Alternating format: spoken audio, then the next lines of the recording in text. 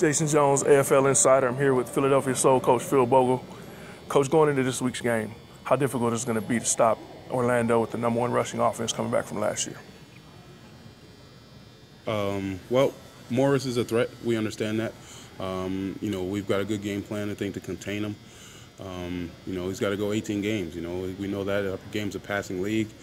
You know, it's uh, dangerous putting your quarterback in that position. Um, but, you know, it's something we game plan prepare for.